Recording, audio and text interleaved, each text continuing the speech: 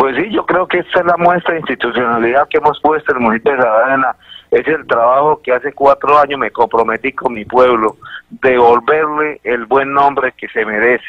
Y ese es el trabajo que hemos hecho con nuestra fuerza pública. Eh, cero eh, violación a los derechos humanos, cero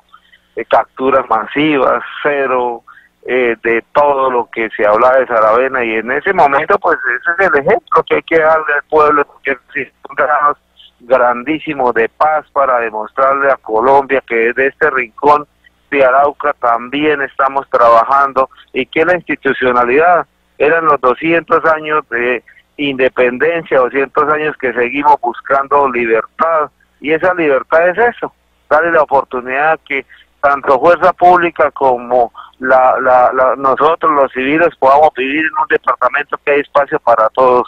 Y ese es un ejemplo que hemos dado, lo dimos el 20 de julio con haber instalado exactamente esa conmemoración en nuestros héroes en el en el Parque Central y ahora mismo pues el respaldo que hemos tenido por la fuerza pública, el pueblo de Saravena feliz.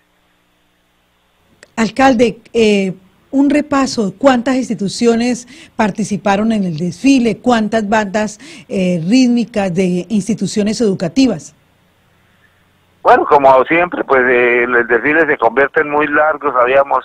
eh, teníamos cinco bandas porque las otras pues habíamos participado en el 20 de julio, entonces pues usted sabe que tocaba que turnarnos, eso siempre lo hemos hecho durante los cuatro años, siempre ha estado el la administración municipal encabezando los desfiles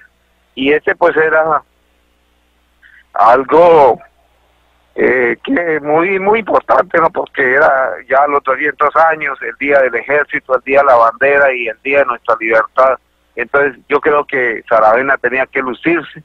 para decirle a, a Colombia al departamento de que es un pueblo que estamos cambiando que vamos nuevamente por el sendero de la paz por el sendero del desarrollo, el progreso, la convivencia. Y como siempre, con ese gran respaldo de nuestro pueblo, primero, que reconocer que lo más importante es que la sociedad civil, esos ya casi 17 mil mensajes, eh, muestran el, el, el respaldo, el apoyo a al Estado, a la fuerza pública, al municipio y el respaldo a la gente, a la gente de Saravena, que se merece todo lo mejor.